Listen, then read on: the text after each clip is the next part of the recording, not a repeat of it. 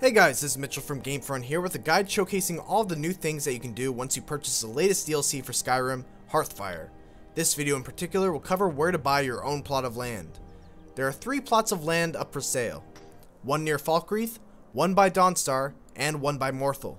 You may get a courier delivering you a message telling you of land for sale in one of these three regions, but I actually never got that letter.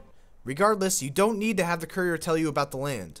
All you need to do is visit the Jarl of the region and get on his or her good side, much like you would if you were buying a house in Skyrim Vanilla. Good In Falkreath, you. you'll need to head to the Jarl's Longhouse and speak with Jarl. Siddgeir.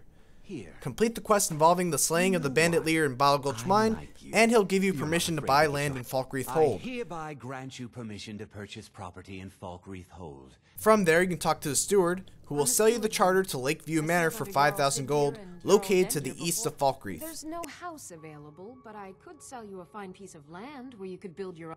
You won't regret it. Here's the title to your steading. If you'd rather settle down somewhere in the Hjaalmarch, fast travel to Morthal and speak with Jarl Idgrod. You'll have to complete the quest Laid to Rest before she gives you permission to buy land. This quest can also be obtained by talking with the Jarl.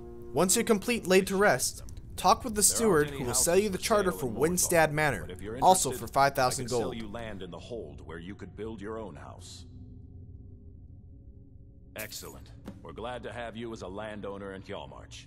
The land near Dawnstar is probably the most time consuming of all the plots of land, as you'll need to have completed the Daedric quest Waking Nightmare in addition to taking down a giant for the Jarl. You can get the Waking Nightmare quest by talking with Erandur at Dawnstar's Wind Peak Inn. Once you complete the quest, return to the Jarl to inform him of your success. He will then ask you to slay a giant as a miscellaneous quest. Do so, then return to him and he'll give you the option of buying land in the Pale. Note that you will get the Land Baron achievement only if you buy three plots of land in the same game. You cannot buy a plot of land, reload the save, buy the second plot of land, reload the save, and then buy the third plot of land. You'll need a total of 15,000 gold if you plan on owning all three plots of land. Thanks for watching our guide for finding and purchasing all three plots of land in the Hearthfire DLC of Skyrim, and please don't forget to like, comment, and subscribe.